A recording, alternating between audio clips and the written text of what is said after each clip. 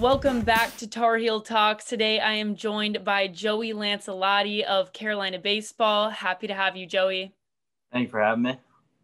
So, your team's season opener is set to be on Friday. What is the feeling heading into opening weekend after last season got cut short?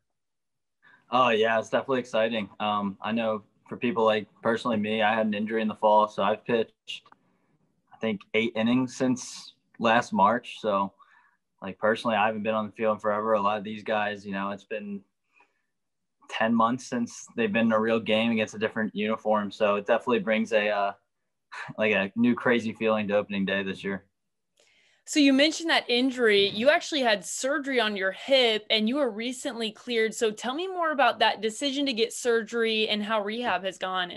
So I was having like pain like 2018. So it's been a while now and I just never really wanted to go through the process and finally gave in this fall. Um, this could be my last year, you know, here. And I was like, I, I want to make the best out of it. Like, I don't want to play, you know, hindering an injury anymore. So I finally decided to like October. And it was definitely something that, you know, was a hard decision because I knew it would be a long time out of baseball and that was kind of hard. And um, I finally decided to, and, you know, it, it was the best decision I've made in a while. Um, they told me five to six months when I was at the hospital um, would be my recovery the day after, and I got cleared in three months and ten days, and so that was like so exciting. And now being back out in the field, um, ready for opening day, like I wasn't really anticipating playing until a month or two from now. So, um, yeah, now looking back on it, it was an awesome decision, and I'm so excited to be able to join the team this weekend. What has the lead up to this season been like, and how has it been different from past years?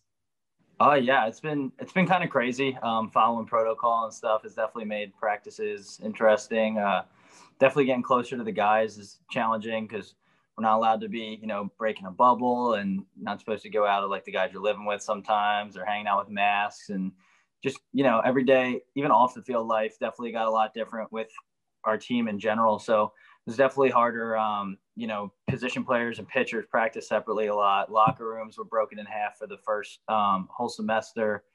Um, like showers are, you know, you can only have a couple guys in the shower at a time. Like everything's kind of enclosed now, and it made it.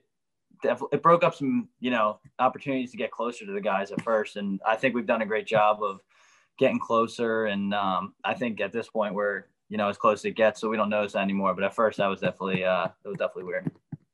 So this is the first time in your career at Carolina that entering the season, the team is not ranked in the top 50 and currently not projected to make a regional. So how has that motivated your team? Because I know your entire career here, you've either been a game away from Omaha, been at Omaha. So what has that been like? Yeah, it's been, it's been, uh, that's been something, uh, definitely something to motivate us and definitely a common thing brought up. Um, during speeches and stuff by the coaches, and I think it's gonna I think it's gonna help us in the long run. Um, speaking about the year we went to Omaha, uh, that year we started seven and seven, and that was like everyone kind of put us put us aside, and that we used that as motivation, and we took that into Omaha. And I think something similar is going to happen this year because there's so many guys that just have a chip on their shoulder right now. Um, so many older guys that came back that weren't, you know, weren't supposed to, that are just going to use that as fuel because it's a, it could be their last year here. They want to win, and I think we're a lot better than some people think. And I'm you know pumped. I think it makes it even more fun to prove people wrong. And we have some young guys and some new guys going into roles that I think no one knows about, and it's really going to shock them. So last year was the first time you were in the hitting lineup and you finished with one of the top five batting averages on the team. So after a few years at Carolina being a pitcher only, how did you make your way into that lineup? Yeah, so I um I came in as a PO or a two way guy. Um, got a good like bullpen role my freshman year. And they were like, Joe, like you're gonna be one of our closers. Like, there, there's not much we could do about like you need to stop thinking about hitting. Like you're a freshman, it's gonna have a big role on the mound. Uh, and you know, two years went by not hitting, and finally after my sophomore year, yeah, sophomore year, uh, I was on the phone with Coach Fox, and we were kind of just you know talking, having some fun on the phone uh, a couple months after the season was end, uh, over. And he's like, hey, like, we're going to lose some big bats. Like, that was the year Busch was leaving, Beamar was leaving, all those guys. And um, he's like, what, do you think about swinging it again? Because I kind of like was bugging him a little bit, messing around. And like I kind of was laughing about, but like in the back of my head was like, all right, let's do it. And worked really hard with a um, hitting coach back home. And uh, yeah, came in and was still a little like messing around with it, but it, it was going really well. Um, scrimmages, preseason, um, I was having a lot of success, and I was like, Coach, like this is this is something I want to do, and they really bought into it and believed in me. And then I think I was batting fifth, fourth or fifth opening day last year, which was like crazy to me. Um, so I was just uh, I can't even put in words what that felt like after two years of not hitting and um, the second game hitting like a walk-off home run was probably one of the best memories I've had at UNC, like which I never would have had if I would have stayed as a PO. So uh, it was definitely an awesome decision. So can fans expect to see you in that lineup again this season? I hope so. Yeah, I um, I'm gonna start hitting uh, hopefully this Monday because um, of hip stuff. Um, my main focus was get back on the mound, um, but I have I was hitting a lot in the preseason, um, had some success, and was definitely looking forward to hitting and stuff. But I want to, you know, take the first opening weekend to get back on the bump. But yeah, I'm definitely Monday. I'm going to start swinging it again, and hopefully, uh, can find my way in there. And lastly, Joey, you're certainly one of the leaders on this team, but unlike a lot of other programs, Coach Forbes actually doesn't have captains. So, how does this impact the team's leadership? And is this something carried down from Coach Fox, or how does that work?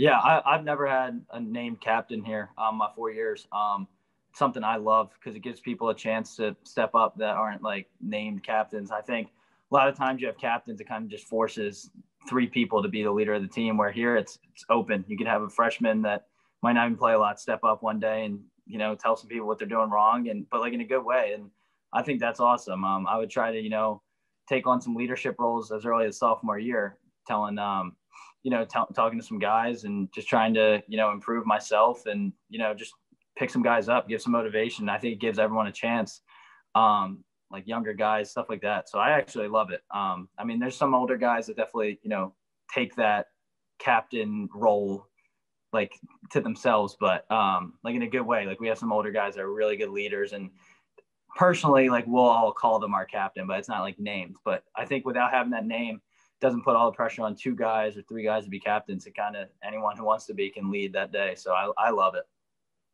Thank you so much for joining me, Joey, and good luck yeah. with the series this weekend. No, thank you so much. Thank you for having me.